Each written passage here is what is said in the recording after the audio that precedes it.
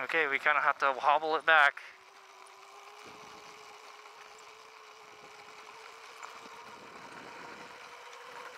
Oh man, guys. this sucks, dude.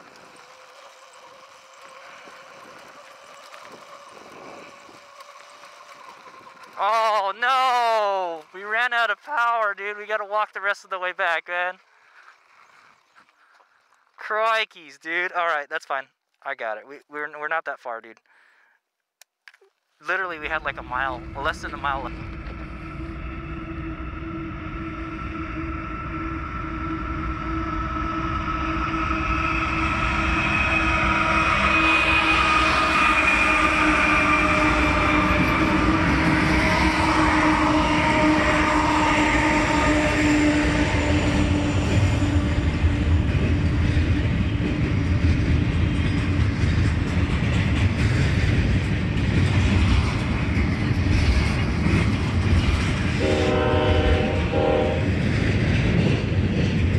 Okay, guys, guess what's going on?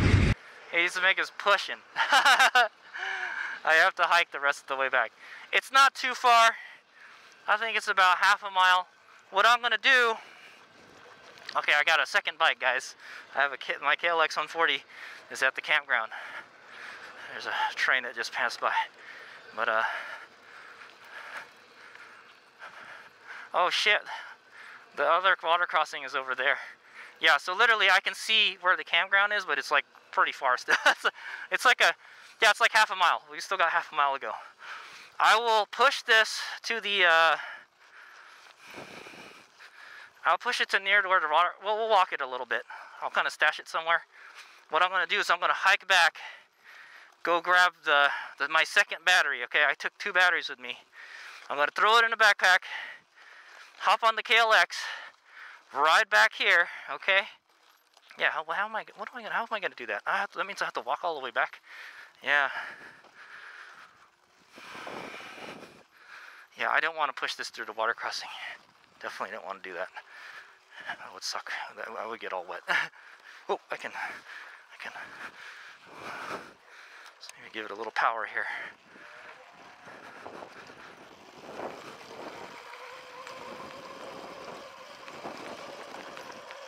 Put in eco mode, yo.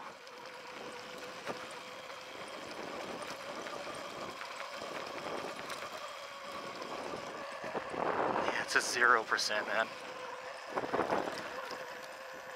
Yeah, this says there's no charge at all. It's yeah, it's at 58 volts, man. We could still go a little bit farther, you know. But we might damage the battery.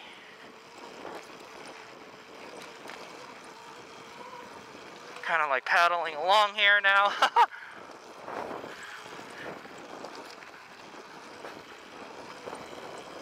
oh yeah, we're moving now. Barely. Oh, oh, it died. Okay. No, we're there. Like the, the bridge is right there, man. We're we literally made it. Yeah, I can see the group campground over there. We're literally there, dude. Okay, this is what HadesOmega is gonna do. This emergency uh, emergency pit maneuver here. Okay. What we're gonna do is I'm gonna push this to where the water crossing is. I'm gonna walk across the water crossing. And you know, it'd be better just to just, uh, well, yeah, just so I don't have to carry the battery, you know? Well, either way, you're gonna have to carry the battery. Yeah, yeah, yeah. I'm gonna see if this works. I'm gonna push this to the water crossing. I think it's just right here. Literally, it's right there. And then I'm gonna walk back to my campsite, put the second battery in, because I don't want to. I don't want to walk this over to water crossing. That would suck. I'm gonna get my feet super dupery wet. Okay, and then I'm gonna put it in a backpack, ride on over here to KLX.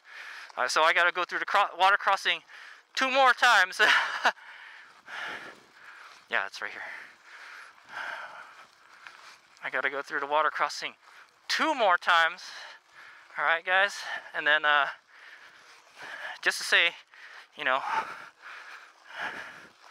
unfortunately, the uh, the 27500 battery didn't make it, but uh, it was HadesOmega's fault. The biggest, the problem was like when I got to the other side of the canyon, I, I wanted to go play around there for a little bit, and then that ate up a lot of power because the sand is deep there. So yeah, All right, this is the water crossing. I'm gonna leave the bike here. I'm gonna walk back to my campground, just not too far, and then I'm going to, uh, and then I'm going to, uh, what you call it? Uh, we're gonna hop on the KLX, put the battery in the backpack, ride on over here, swap the battery, and then ride, swap the battery, ride back. So I gotta go through the water crossing again. So this time I get to do water crossing on the gas bike. Okay, well, this is it. We made it to the water crossing. However, however, I don't have any more power to go across it. So I'm gonna get a rock here so my bike doesn't topple over. Maybe a smaller rock.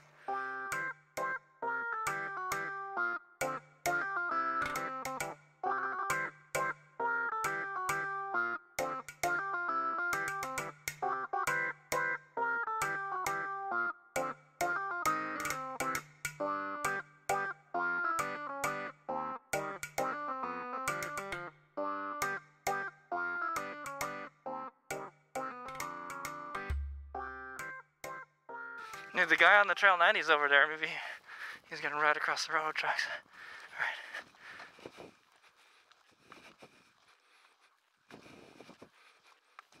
Yeah, I gotta walk this twice.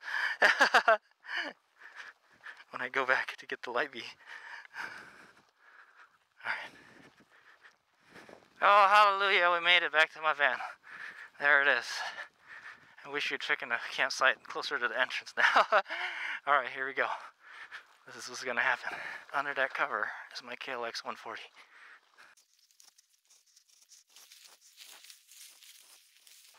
Okay, so while I warm this up, I'll go grab the other battery. So.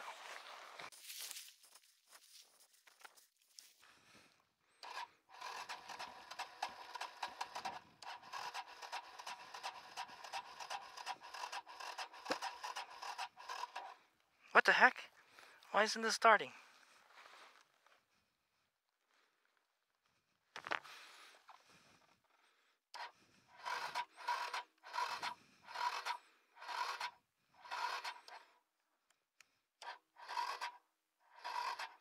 I thought I ran this.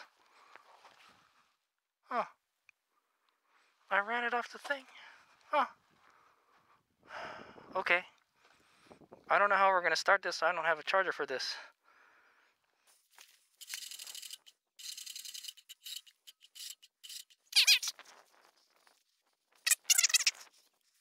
Okay, that didn't work. I don't know what happened, man.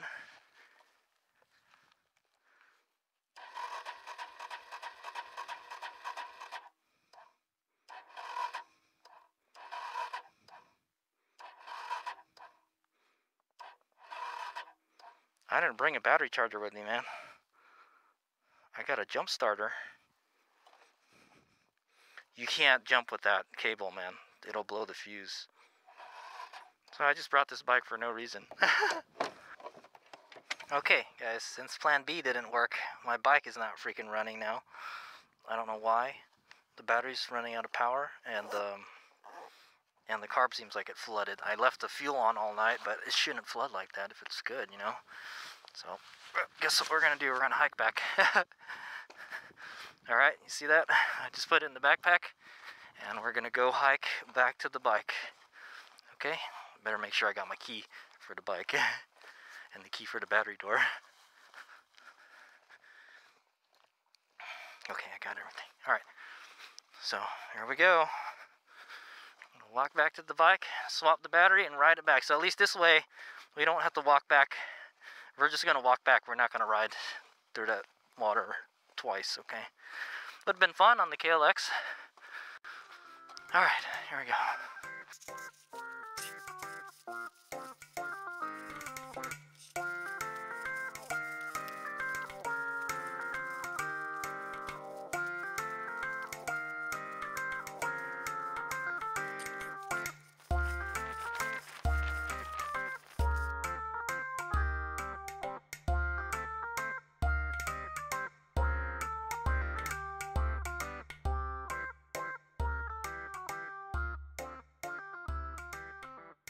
Dude, all I can say is it's a good thing it ran out where it did and not farther back there, okay? Um, yeah, literally, it's in walking distance, you know, and it's not hard, soft sand, I mean, soft sand that we have to walk through, you know. Just gotta go walk through this water crossing. Whew.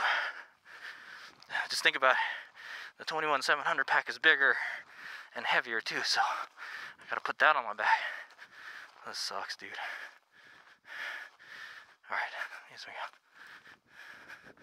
Alright, here we are at the water crossing again.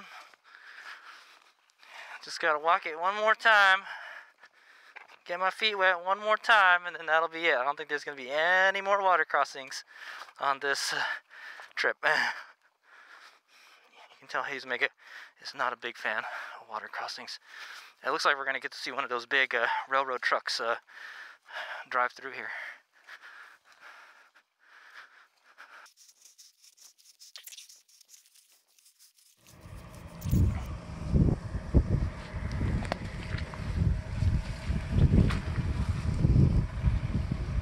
Go.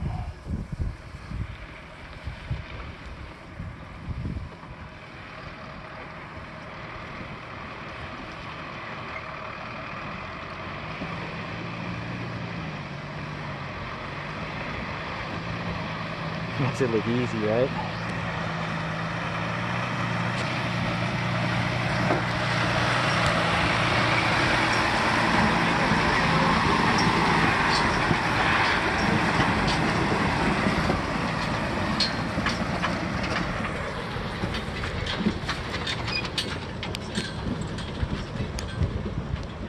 There we go. I easy.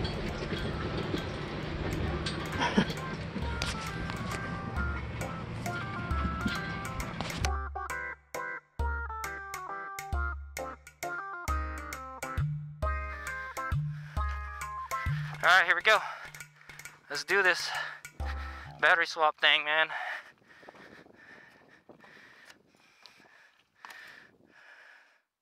Ooh, the battery got cut here by the battery door. I have to grind that or something. That's not good. Yeah, it did. Oh, not the battery, it's the, the connector for the for the bike.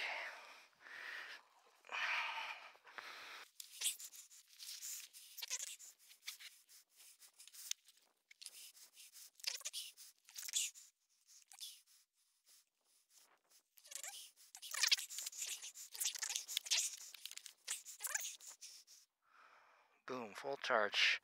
Well, 94%. Okay, now we're going to put this battery in here. Okay.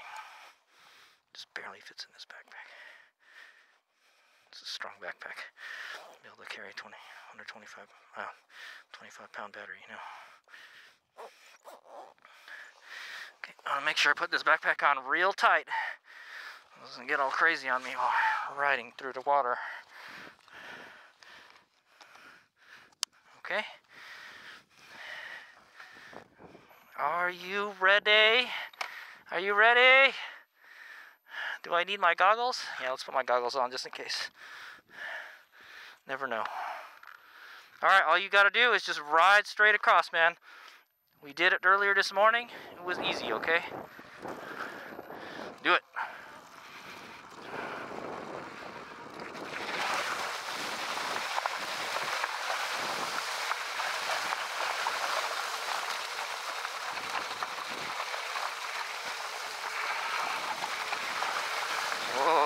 Pretty deep here. Oh, my butt's so wet. That was it.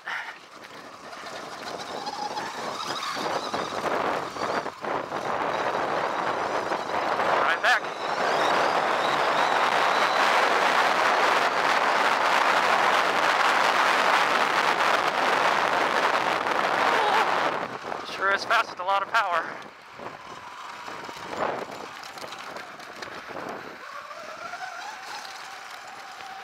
Whew. We did it! Good job! Alright. We made it back, guys. I got the GPS and the bike back here, so total trip was 18.6 miles, okay? It's supposed to be like 8 miles, but we did a lot of, you know, random stuff. Um, it is now 1300. We could have made it back at 1200 if we hadn't uh, ran out of power. We're at 1400 foot elevation, okay? I will take a picture of all these also, by the way. Okay, uh, 18.6 miles. We hit a max speed of 50.2 miles an hour, probably when we were ripping it on the those uh, the river sections, the straight sections, and uh, we were had a moving average of 13 miles an hour, a moving time of one hour 26 minutes, so one hour 26 minutes of riding, and two two hours and 50 for three hours basically. So we took three hours of breaks. No, no, no, no. We we rode one like one and a half hours, and then we took a break for one and a half hours. Okay. So, but yeah, like I said, it was supposed to be a scenic, slow ride today. So there we go. We made it back. Now I got to figure out what's wrong with my KLX, man. Uh, it looks like we won't be able to use the KLX until uh, we get to Baker and I can get a, a, battery tender charger for, for my bike. I wish I had brought one with me, man. Because I could have easily charged it with my, uh, my charger. Because we're going to be charging batteries all the time. okay? That's a bummer. I, I really wanted to ride the KLX too. That's it's a great riding through the desert. It's got a lot of power now too. So, all right, me go. We made it. Oh, by the way, guys, we did like only like 19 miles, and uh, and we ran out of power. So that that's about right. The Light Beast should get about 20 miles of off-road riding. So yeah, that's really as good as we're gonna do, man. Only 20 miles out. That's it. You know, it's no good. Not very good for desert riding for sure, dude um, and it eats up a lot of power in the sand. So it should do better, but the sand just, I'm pretty sure the sand just ate up that power. You can hear it, it's struggling, it's working real hard. So um, we made it back with 0%. I would say minus 1 because we had to put the other battery in it to get it back, okay? Um, so for whatever reason, I guess the battery's hopping up and down and it cut the the, the black wire here, so I'm to have to get some electrical tape.